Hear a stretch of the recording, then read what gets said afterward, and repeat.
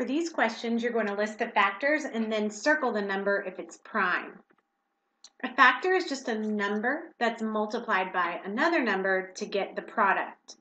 And then you're going to circle the number if it's prime. And what prime means is that it's a number that only has two factors, one and the number.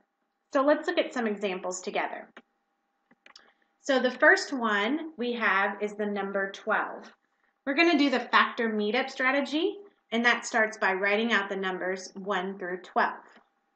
So how the factor meetup strategy works is you start by circling the 1 and underlining the 12 because these are the factors that all numbers have, 1 and itself. And then we look at number 2. If 2 can be multiplied by any other of these numbers, then you're going to circle it and underline the number that it can multiply by and equal 12. And remember, as the underline moves up, anything behind it can no longer be a factor. So let's look at number 3. Can 3 multiply by either 3, 4, or 5 to equal 12? And yes, 3 can multiply by 4.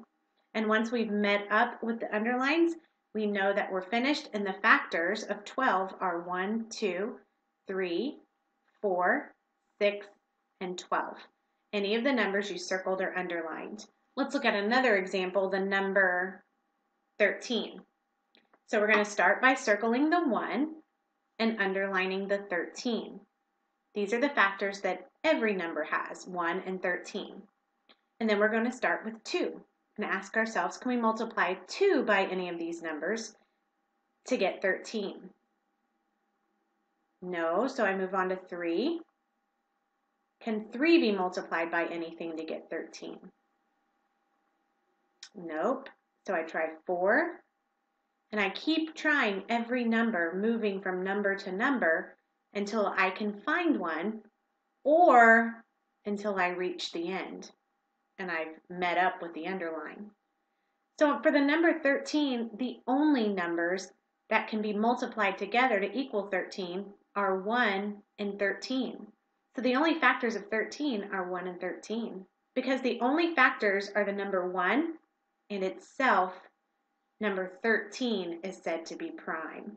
So we're going to circle number 13 because it's a prime number. All right, you try some on your own. And if you need any help, you can rewatch the video. Good luck!